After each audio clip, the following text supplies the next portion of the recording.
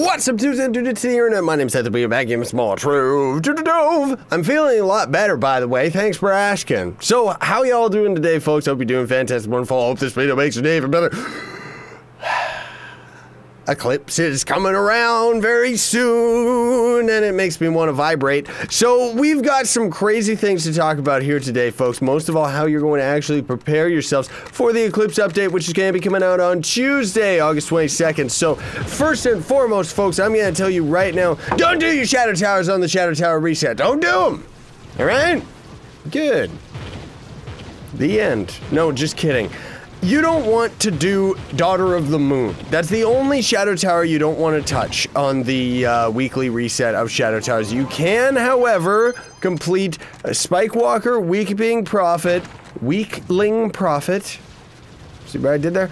And Pinata God. You can complete all of them because after the Eclipse update ends up hitting, uh, each of those bosses is going to end up actually giving us less Titan Soul. So this is going to be one week only that we're going to end up actually being able to get an overabundance of Titan Souls before the nerf ends up coming in. Now, the reason that they're nerfing that is because, of course, they're adding two new Shadow Tower bosses, which, of course, is going to mean more Titan Souls. Now, the reason that you're going to be completing Daughter of the Moon and not worrying about that is because of the Divinity Soul. Now, we've talked about this in the past, and uh, quite simply put, the Divinity Soul is a lunar soul but it's a new name and a new item. I, I, think the big reason why they ended up adding it uh, is just so that players like myself, who pretty much already have enough lunar souls for everything, wouldn't be able to get all of the new costumes and the new dragon and stuff like that right away because everything now is time locked.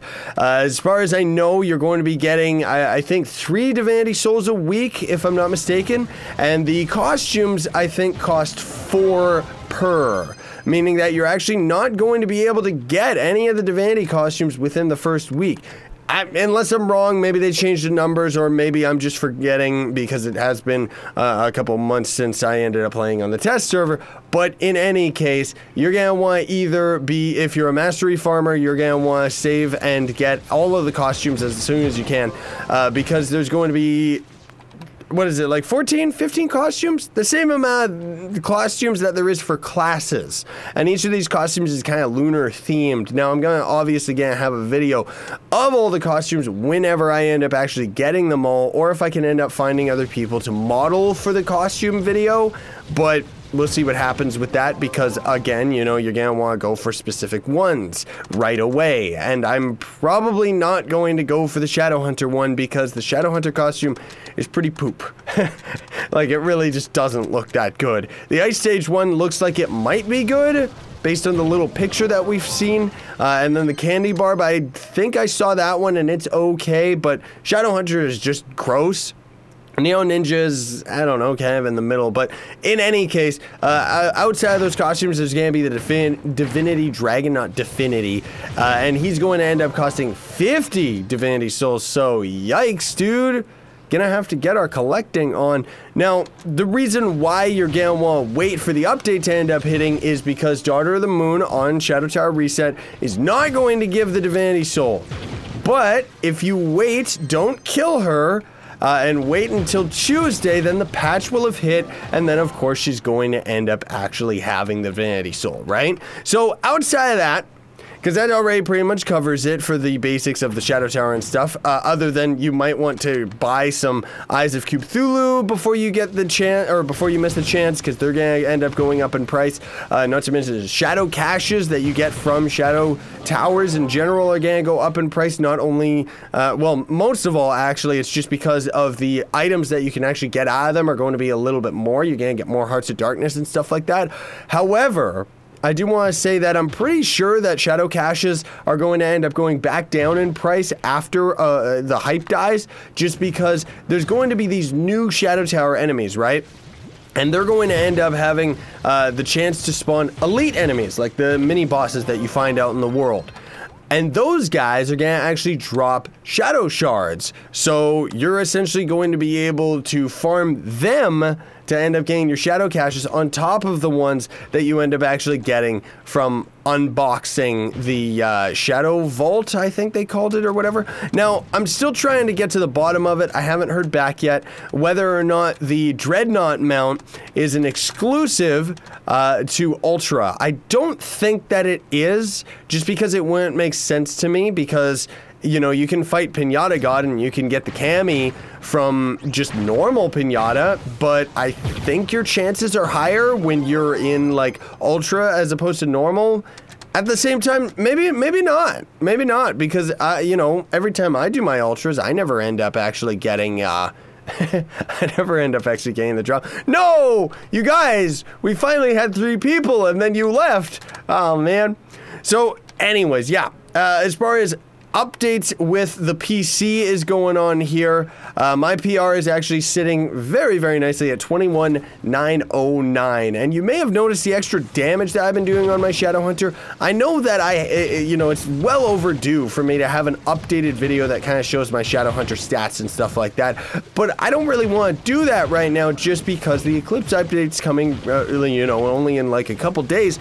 And with it, we're going to be able to augment our gems. So stats are going to end up changing as exponentially. Now, another thing too that the devs have ended up confirming is that the uh, subclass ability, while affected by power rank, we talked about that in, uh, this in previous videos, is the fact that the maximum amount uh, uh of a stat, like a subclass ability, you can get is at 25 kpr. Now, that implies to me that 25k PR, uh, if not maybe 26 or something like that, is going to end up being the ma new maximum amount of PR. I'm not exactly sure. Uh, there's going to be a whole bunch of new dragons that are going to give us a bunch of PR, and then on top of that, there's going to just be augmenting our gems, right? Like that's going to throw it through the roof. Now, uh, I guess I'll just kind of show you right here. My stats are at 161k uh, physical damage.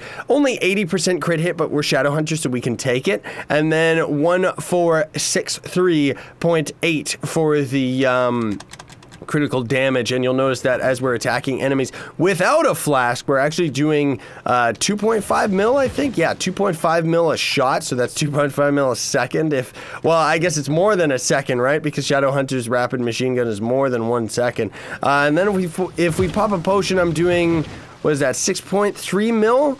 I think so, and then when we uh, keep getting those big massive explosions because my explosive epilogue, that's what's actually setting them off and making it do whatever that was. I think that was actually a 9 mil right there, so we're almost doing max damage. Now, that's the thing that I'm very curious about is what's going to end up happening once we can augment our gems. Are we going to actually be able to see some characters uh, able to do max damage with some of their more basic attacks. Uh, definitely going to be able to do max damage without a pot for some of the characters' attacks, uh, especially the fact that, like, the Shadowhunter's ultimate, for example, it doesn't always end up doing max damage if you don't end up shadow marking them.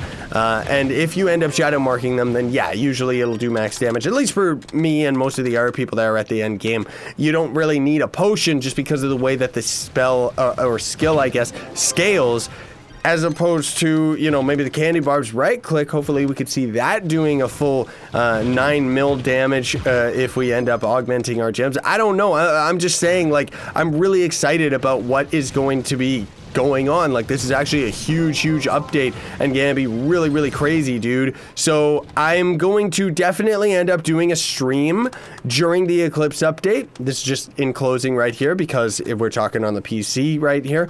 Uh, I'm gonna be doing a stream for sure. Not exactly sure when. Sorry to say I can't give a specific time.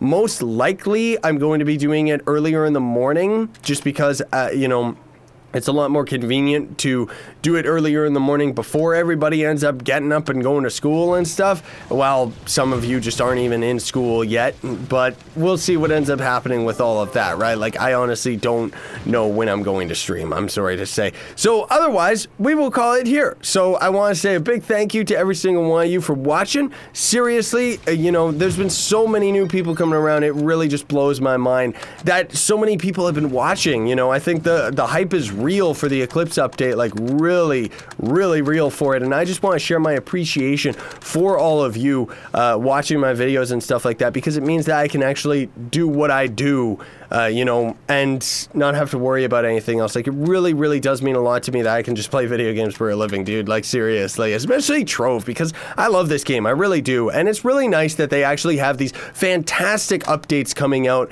uh, lately. You know, I'm really excited to even see what they end up doing with the club update because chances are it's going to be another big one. Not necessarily as big as the Eclipse update. This one is almost as big as the Mantle of Power update. Not exactly, because the of Power update added level 30 and different gems and stuff like that. But, uh, Speaking of which, where's our level 30 costumes, guys?